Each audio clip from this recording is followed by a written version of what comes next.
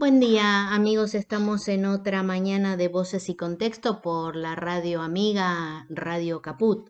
Esta mañana tenemos un invitado al que le tenemos un gran afecto desde hace muchos años, que ustedes conocen, ya es amigo, es amigo de Voces y Contexto, que es Carlos Raimundi.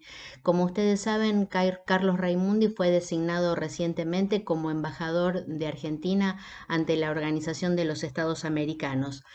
Eh, tiene una larga trayectoria como docente, como legislador y como referente político, entre otras cosas, de, del Partido Solidaridad más Igualdad y del Frente Grande. Así que le damos la bienvenida en esta mañana. ¿Cómo estás, Carlos? Bueno, un gusto, Adriana, poderme comunicar con vos personalmente, a través de vos, con la audiencia y por una radio tan querida y que está haciendo tanto por una comunicación alternativa como Radio Caput. Es cierto, Radio Caput es la radio, la radio compañera y nosotros queremos eh, felicitarte sinceramente por tu designación ante la OEA. Y te queremos felicitar y, y, nos congratulamos de esta designación porque es algo bueno para la Argentina, obviamente, y también es algo muy bueno para la patria grande, para nuestra comunidad latinoamericana. Es muy auspicioso. Y yo te quería preguntar, para que compartiera, si querés, con, nuestros oyentes los ejes fundamentales de tu discurso de, iniciación de tu, de tu mandato allí en la OEA, que son sumamente importantes y que tienen un sesgo y una, una mirada bastante particular. Bueno, eh, mira Adriana, primero decirte que que estar aquí no es, no es sencillo porque a mí no se me escapa en absoluto la historia que tiene la, OEA. Una organización creada eh, cuando un par de años después de que terminara la Segunda Guerra Mundial, con unos Estados Unidos victoriosos que tenían que enfrentarse al otro bloque, al bloque socialista en ese momento, sí y que necesitaban controlar mucho América Latina, a la cual ellos siempre consideraron su patio trasero. Así que eh, era tal la asimetría de poder entre nuestros países y, esa potencia victoriosa que la OEA se, se transformó en un organismo muy dependiente y muy subordinado a los intereses hemisféricos de los Estados Unidos. Desde luego que mientras tuvimos gobiernos populares, hasta el año 55, por ejemplo, la Argentina mantuvo su autonomía del imperio, pero con los retrocesos de, las, de los golpes militares, fundamentalmente, y de otras etapas neoliberales, como fueron los años 90, eh, la Argentina quedó atrapada en ese, en ese sistema de poder que tiene mucha relación de complacencia eh, eh, y trato de ser benévolo en el, en el término, con momentos muy amargos para la región, sobre todo para quienes tenemos valores democráticos, por, por, todo lo, por todo lo que implicó la indiferencia de la OEA frente a golpes de Estado, frente a invasiones, frente a proscripción de fuerzas populares, inclusive el asesinato de algunos líderes populares. Sí.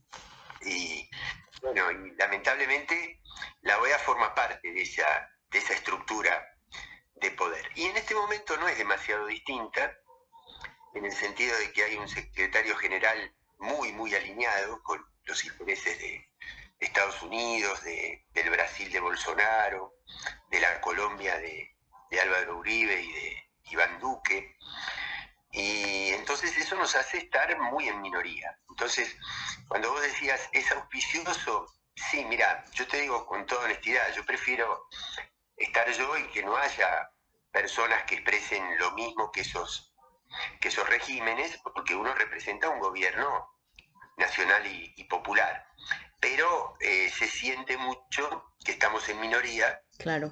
y que hay una región que está interpretada por otros valores. Así es. Respecto de lo que yo intenté decir en mi primer discurso, en mi presentación, lo sintetizo mucho, porque ya me extendí demasiado en esta respuesta. Eh, primero, mirar las cosas desde las personas que sufren, no desde la superestructura burocrática o, tecnocrática de una élite que se enamora de eh, trabajar en un organismo internacional. Porque se pierde la perspectiva del terreno y en, el terreno hay millones de, compatriotas de la patria grande que sufren. Y es desde allí donde tenemos que construir nuestro discurso, nuestra mirada y nuestra postura y nuestras acciones. En segundo lugar, eh, una perspectiva de género que atraviesa todo, porque es una revolución cultural impresionante la que estamos atravesando en ese sentido. Una perspectiva de, de, una nueva relación entre la sociedad y el medio ambiente para que tengamos planeta por, por, un tiempo más y que no se nos acabe rápido. Y después este, la, la libre determinación eh, de, los pueblos, que no estemos sometidos ni a injerencias, ni a amenazas militares, ni tampoco a intervenciones económicas o financieras que buscan endeudarnos, eh, someternos a ese esquema de endeudamiento e imponernos después que si no les podemos pagar con dinero, porque es curioso, pero te prestan dinero sabiendo que te obligan a hacer políticas de ajuste de tal manera que vos nunca puedas pagar. pagar. Claro. Claro, pero el problema no es que les pagues, el problema es que después, eh, como ellos saben que no le vas a poder pagar, te exigen quedarse con los recursos naturales. Así que bueno, ese es el tema que nosotros tratamos de defender aquí sobre la base de esos valores históricos de la política exterior argentina cada vez que hubo un gobierno nacional y popular. Claro, eh, por eso yo decía al comienzo, cuando te saludaba, Carlos, que era auspicioso para la Argentina y para, para América Latina tu designación, porque con ese norte sabemos que aún con, las, con los condicionamientos que, que existen en la OEA, es muy valioso, es muy valioso un representante que, tenga bien en alto en e, estas banderas. Sobre todo, y acá vamos a, otra, a otro plano de la charla, eh, me interesa mucho tu, apreciación con respecto a, esta circunstancia que se viene mm, desarrollando en América Latina en estos últimos años de bueno, de eso que se ha dado en llamar golpes blandos y, yo me animo también a decir una especie de, travestización de, de, la democracia, ¿no? que cuando los gobiernos asumen se alejan rápidamente de lo que fueron las demandas populares que los llevaron al, poder. ¿no? Yo sé que vos compartís esta preocupación y, y me gustaría que conversáramos acerca de esto. ¿no? Sí, primero decirte que efectivamente eh, la silla que yo ocupo no la ocupo solamente en nombre de la Argentina, sino que hasta tanto los movimientos populares de toda la región recuperen el gobierno, también la pueden considerar su silla. Sí. Eh, sí. Segundo, también decirte que, la OEA tiene lugares donde se trabaja más, más menos visiblemente, pero con mucha profundidad, y donde Argentina, debido a todas las los avances que hemos hecho en nuestra legislación interna, justamente en políticas de género, en políticas de respeto a los pueblos originarios, eh, derechos laborales, eh, derechos ambientales, una cantidad de, de, de ítem, de, políticas en donde la Argentina tiene cosas para decir, a veces son menos visibles que cuando vos discutís sobre la, las elecciones en Bolivia o la situación de Venezuela, pero son igualmente profundas e intensas en su, en su trabajo. Tercero, golpes blandos. Sí, eh, mira, yo recuerdo que era el 28 de junio de, de 2009 eh, eh, hubo elecciones parlamentarias en ese momento de medio término en la Argentina, pero coincidió con el primer golpe de la región, que fue un ensayo que se hizo en Honduras contra Miguel Zelaya. Y me acuerdo que me acuerdo de una mesa de Mirta Legrand eh, en esos días. Estamos hablando de 11 años hasta acá. donde Mirta decía, ay, yo no sé a quién le puede interesar Honduras, que queda tan lejos. Y la verdad que en este momento nada queda tan lejos, todo está relacionado, y Honduras fue un ensayo. Lo fueron a buscar con los medios, el aparato mediático. Sí, sí, recuerdo, recuerdo las filmaciones, sí. al presidente a la madrugada, lo sacaron de la cama y diciéndole que la Corte de Justicia tomaba el poder. Es decir, no un bando militar, como otras veces. ¿Para qué? Para que no generara el mismo impacto negativo eh, el uso de la fuerza, la militarización, este, el control de fuerzas uniformadas en la calle. Todo eso fue eh, dejando su lugar a nuevos tipos de intervención. Pero finalmente el proyecto, la naturaleza, la sustancia del proyecto de sociedad que se genera es el mismo. Eh, extranjerización de la economía, apertura, destrucción del aparato productivo, eh, poner a los países de rodillas desde el punto de vista económico, apropiarse de sus recursos. Y a partir de allí se fueron eh, expandiendo los golpes en la región. Después vino el golpe contra el presidente Lugo de Paraguay, contra Dilma Rousseff, intentos de golpe en Ecuador, en Bolivia. Eh, y en la Argentina no un golpe exactamente, no, no llegaron a tanto, no pudieron, había un movimiento más, más arraigado, pero toda una un movimiento a nivel internacional que recuerdo que, que, que, tuvo uno, uno de sus puntos de inflexión con el suicidio de, de Nisman, sí. porque la prensa internacional tenía todo armado para hacerlo aparecer como el hombre que había denunciado a la presidenta de liderar un plan criminal en el mundo en alianza con una nación terrorista como Irán. Esto no es que yo piense así, digo como lo titulaban en aquel momento. Sí, sí, claro. Y a partir de allí generar todo un desprestigio internacional de la presidenta. Cuando Nisman eh, decide suicidarse, eh, hacen aparecer como que eh, la, muerte de un hombre que había denunciado a la presidenta tenía una responsable, que era la presidenta. Entonces se genera todo ese clima que, es un, uno de los eslabones, pero uno de los más fuertes, que da inicio al triunfo de, Mauricio Macri después, ¿no? Frente, a, frente a Sion. No fue el único factor, no digo que no se hayan cometido también algunos errores como que llevaron también a esa situación, pero la verdad el problema no eran los errores que se habían cometido, sino todo ese andamiaje que se había creado a través de la prensa internacional. Sí, y aparte ese... El ese... Tema de los es terrible. y lo último que te digo con relación a lo que vos decías, es que eh, es cierto, las democracias tal cual están, están tan débiles que son mucho más permeables al poder económico que a la, que a la voluntad popular. Porque, ¿cómo puede ser que si los pueblos votan, después termina eso en una crisis? ¿Qué, qué, qué, qué es lo que sucede? ¿Los pueblos votan crisis? No, no votan crisis. Lo que pasa es que estas democracias son impotentes para poder expresar genuinamente la voluntad popular. Bueno, yo creo que uno de los casos que estamos lamentando eh, y, que se, y que se desplegó rápidamente, muy rápidamente, fue en el caso de Ecuador, ¿no? Con Lenin Moreno, fue, no sé, a los pocos días este, empezó a darse vuelta, a hacer un giro, este, un giro tremendamente nefasto para el pueblo ecuatoriano. Sí, sin duda. Bueno, ahí hay que agregarle un elemento que es cuando que es el cuidado que tenemos que hacer cuando elegimos fórmulas o hacemos alianzas. Porque ya le había pasado a Dilma Rousseff, que quien, la, derrocó y ocupó su lugar era su vicepresidente. Eh, y en el caso de, de Lenín Moreno, fue electo por la fuerza de Rafael Correa y después terminó poniéndolo preso a Rafael Correa. no poniéndolo preso, sino acusándolo, impidiéndole volver al país. Y ahora proscribiéndolo. lo proscriben electoralmente. Claro.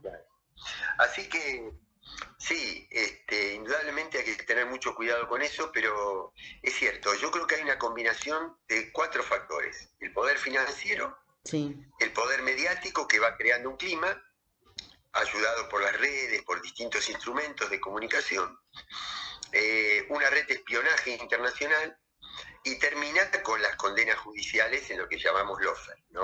que es esto de jueces que no tienen nada que ver con el valor justicia, sino que son instrumentos del poder para eh, la persecución de los líderes populares, como pasó con Lula, como pasó con Correa, como pasó con Evo, donde hubo un golpe ya no tan blando, sino un golpe directamente, y como pasó con Cristina en su momento, a, pesar de que afortunadamente no, no llegó hasta el punto de la detención, ¿no? pero sí de la detención de muchos compañeros y compañeras, empezando por Milagro Sala, que son detenidos políticos en nuestro país. Sí, tal cual, tal cual.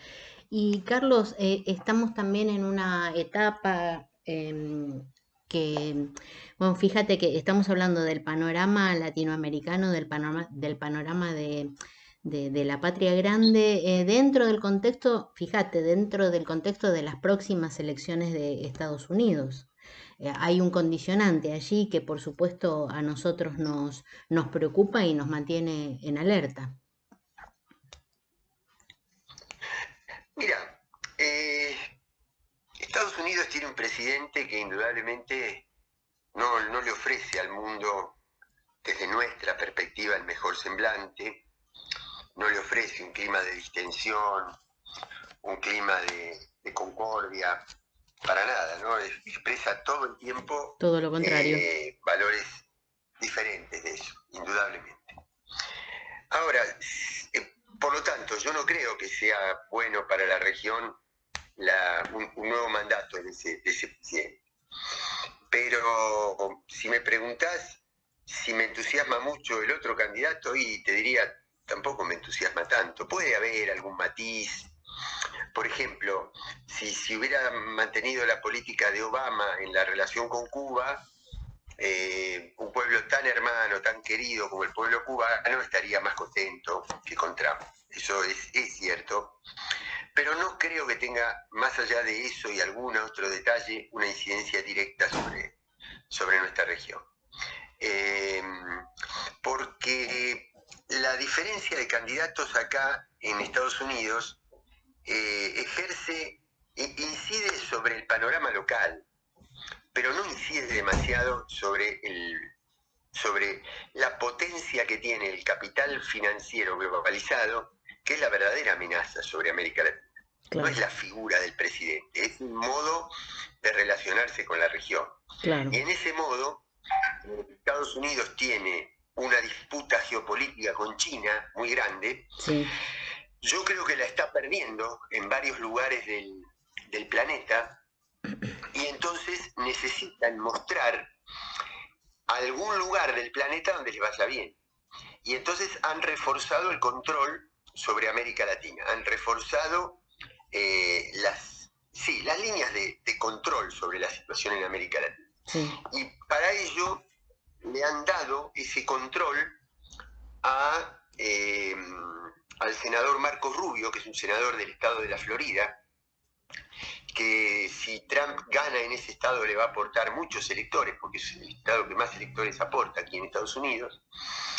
Y, entonces hay una ofensiva, ¿no? Una ofensiva que fue eh, imponer al presidente del BID en lugar del candidato argentino. Claro. Eh, cabezar a la Secretaría de Derechos Humanos de la OEA, eh, y bueno, y, las amenazas permanentes a, Venezuela, Bolivia, todos aquellos países en donde se presente alguna alternativa popular, nacional, que defienda los estratégicos de nuestro país, se llame petróleo, litio, este, o, como se llame, ¿no? Pero bueno, esa, esa es, creo, la disputa de verdad. Por lo tanto, no creo que vaya a modificar mucho el presidente. Lo último que sí te podría decir es que es por qué un hombre como el candidato demócrata eh, John Biden en Estados Unidos necesita elegir como vicepresidenta a una senadora afrodescendiente. Y la necesita porque hay un clima de sensibilidad tan grande en un sector de la sociedad de los Estados Unidos que eso lo lleva a cubrir ese sector que está en un estado de en un estado de disconformidad, de malestar, de hastío, con la represión policial, y eso puede llegar a ejercer algún rol en el sentido de eh, trasladar hacia nuestra región un clima de, movilización, un clima de, efervescencia. Pero no creo que pase mucho más allá de eso eh, la elección de uno u otro candidato en Estados Unidos para nuestra región. Bueno, Carlos, eh, vamos a hacer una pausa. Te invito a escuchar un tema musical que seguro te va a gustar. Y seguimos conversando. Dale.